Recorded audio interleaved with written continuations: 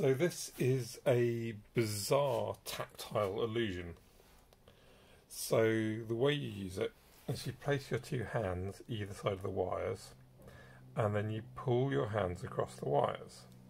And while you do that, if you think about what your other hand feels like, it feels really bizarrely smooth.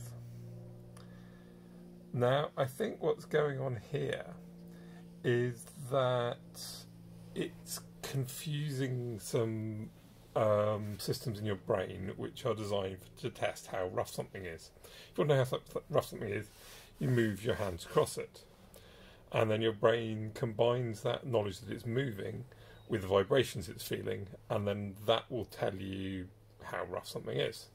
So, what this is doing is because the wires are moving across your hands, it's giving you the impression you're moving across the surface.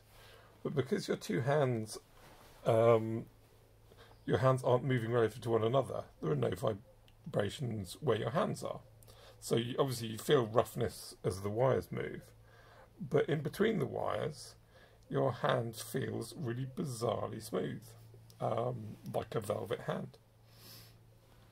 Um, it's something that people only get if you ask them the right question about it, but when they do, it can blow their mind. It's incredible. Um, I've had the most incredible um, reactions for it. It's lovely. Um, and so, yeah, so here's a fairly solid um, rendition of this illusion um, using very fairly thin wires, uh, which makes it easier to feel the illusion. Um, the wires are all basically attached to guitar tuners underneath, and the whole in this in this case it's built on hinges, uh, which means that it's going to be used in a travelling exhibition, and so they can fold it over um, when it's it travelling and then stand it up when they want to use it, and thus you save more space and get more exhibits in the van.